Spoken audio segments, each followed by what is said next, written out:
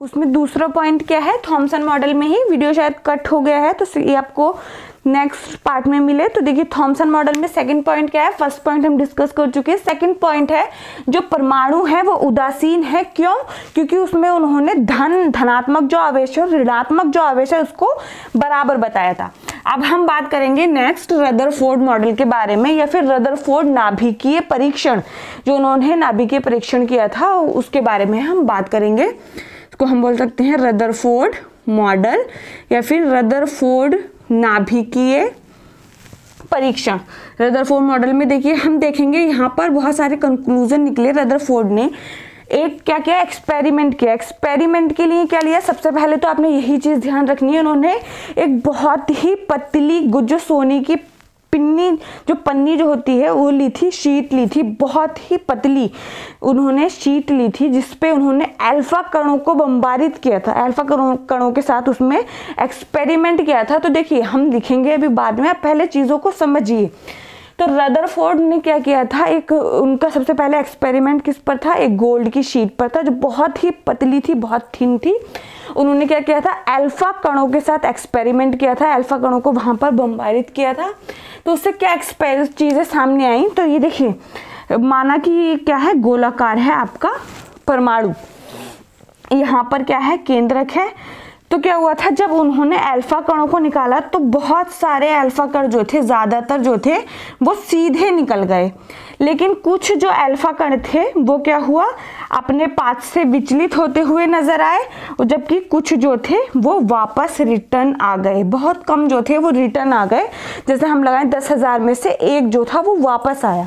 तो इससे क्या कंक्लूजन निकला? उन्होंने कहा मतलब इससे क्या पता चलता है, जब सीधे निकल जा रहे हैं कि जो परमाणु का बहुत सारा भाग है, वो खोखला है, खाली है, उसमें मतलब बहुत ज़्यादा खाली स्थान है। यहाँ पर जो देखें, अगर हम देखें तो प्रोट केंद्र क्या है? पॉजिटिव चार्ज है, उस पर पॉजिटिव धनावेश है। और जो अल्फ़ा कण होते हैं, उसको हम दे चुके हैं, वो भी धनावेशित कण हैं। तो जब उस एरियाज़ के आसपास से अल्फ़ा कण निकले होंगे, जहाँ पर आपका केंद्रक है या फिर केंद्रक का जहाँ पर भी आकर्षित बल होगा तो वहाँ से क्या हुआ? वो अपने पाथ से विचलित हुए, क्योंकि सेम चार्ज जो सेम आवेश होते हैं, समान जो आवेश होते हैं, वो एक दूसरे को प्रतिकर्षित करते हैं। तो यहाँ पर वो अपने भी स्थान से क्या हुआ? विचलित हुए। जबकि अगर हम देखें जो परमाणु का संपूर्ण द्रव्यमान होता है, वो इसके केंद्रक में होता है। परमाणु का जो संपूर्ण द्रव्यमान होता है, वो इसके केंद्रक में होता है। तो जब अल्फ़ा कण केंद्रक से टकराए होंगे तो वो टकराकर ठोस मास से, द्रव्यमान से वापस अपने लौट आए। तो उन्होंने क्या देखा रदरफोर्ड ने? इससे क्या पता चलता है कि बहुत सारा जो जगह है, वो खाली है, क्योंकि वहाँ से बहुत ज़्यादा सीधे चले गए थे, सीधे निकल गए। तो आपने यही चीज़ें सबसे पहले ध्यान रखनी है, जो रदरफोर्ड थे, उन्होंने क्या लिया था? बहुत ही पतली सोने की क्या ली थी? बहुत ही पतली शीट ली थी, जिसकी अगर हम त्रिज्या देखें मतलब जिसका जो मोटाई थी, वो कितनी थी? Ten is the power minus four millimetre. ये चीज़ आपने ध्यान रखनी है। उसकी वो कितनी पतली थी? टेन से पावर माइनस फोर मिलीमीटर। ये चीज़ देखें। उसके बाद हमने एक्सपेरिमेंट में भी देखा। कि रदरफोर्ड ने एक्सपेरिमेंट किया तो वहाँ से कुछ, बहुत सारे जो अल्फ़ा कण थे, वो सीधे निकल गए, सीधे गुजरते हुए निकल गए, लेकिन कुछ अपने पास से विचलित हुए और बहुत ही कम वापस आए। तो अब आपने देखिए नोट क्या करना है? हमने नोट ये लिखना है कि गोल्ड स्टीन जो थे सॉरी रदरफोर्ड जो थे, उन्होंने गोल्ड की एक बहुत पतली शीट ली, जिसमें जिसका क्या है? Ten power minus four millimetre इसको साथ एक्सपेरिमेंट किया अल्फ़ा कड़ों को बम्बारित करके बम्बारिडी हुआ उसका तो उस, उसमें उन्होंने क्या कंक्लूजन निकाले? फ़र्स्ट आप लिखेंगे फ़र्स्ट क्या देखा उन्होंने? पहला पॉइंट आप लिखेंगे नोट करिए। फ़र्स्ट पॉइंट लिखना है, अधिकांश जो अल्फ़ा कण थे, वो सीधे निकल जाते हैं। इस एक्सपेरिमेंट में पता चला कि अधिकांश जो अल्फ़ा कण थे, अगर हम देखें कि अगर परमाणु की जो त्रिज्या है वो ten is the power minus ten मानते हैं। तो केंद्रक की यहाँ कितनी होगी?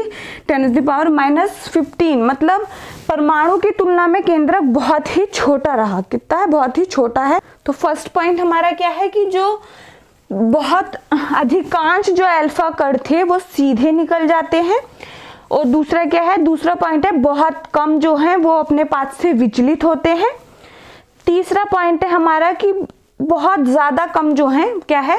वापस लौट आते हैं। वो किस कारण होता है? वो हमने अभी देखा। और क्या है? अधिकांश सीधे निकल जाएँगे।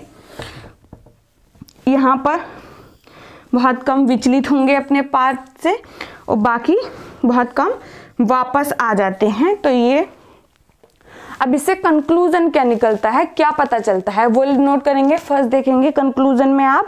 मतलब अधिकांश भाग जो है परमाणु का खाली है। मतलब परमाणु क्या है? खोखला है। अधिकांश भाग उसका खाली है क्योंकि क्या है? बहुत सारे अल्फ़ा कण सीधे निकल जाते हैं। अधिकांश जो अल्फ़ा कण हैं, वो सीधे निकल जाते हैं। उसके बाद आते हैं, कुछ जो अल्फ़ा कण हैं, वो अपने पथ से विचलित होते हैं। इससे पता चलता है कि जो केंद्रक का जो पॉजिटिव चार्ज है, धनावेश है, वो उसको क्या करता है? प्रतिकर्षित करता है। तीसरा पॉइंट आप लिखेंगे, बहुत कम जो है, वापस आते हैं क्योंकि परमाणु का जो संपूर्ण द्रव्यमान है, वो केंद्रक में होता है। जो संपूर्ण द्रव्यमान है, वो कहाँ है? मैंने बताया आपको, केंद्रक में होता है। जब अल्फ़ा कण इससे टकराते हैं तो वो क्या करता है? उसको वापस भेज देता है। क्योंकि परमाणु का संपूर्ण द्रव्यमान हम देखते हैं उसके केंद्रक में होता है। ये सारी चीज़ें जो हैं, वो रदरफोर्ड से आपकी रिलेटेड हैं रदरफोर्ड मॉडल से। अभी यहाँ पर बहुत इंपॉर्टेंट चीज़ें देखी जाएँगी, जैसे ड्रॉबैक्स में उसके हम देखेंगे कि क्या क्या दोष थे जो रदरफोर्ड के मॉडल में थे। हमने आज के देखा? थॉमसन के मॉडल को देखा, उसके पॉइंट देखे और साथ साथ रदरफोर्ड के मॉडल को देखा। तो आपने चीज़ों को नोट डाउन करना है अपनी नोटबुक में और अच्छे से उनको रिवाइज करते रहना है। किसी का कोई भी क्वेश्चन हो तो आप कमेंट में उसको पूछिए। अभी तक अगर आपने चैनल को सब्सक्राइब नहीं किया है तो चैनल को सब्सक्राइब कीजिए और दूसरों के साथ शेयर करना बिल्कुल भी ना भूलें। हम मिलेंगे हमारे नेक्स्ट वीडियो में, तब तक के लिए पढ़ते रहिए। Thank you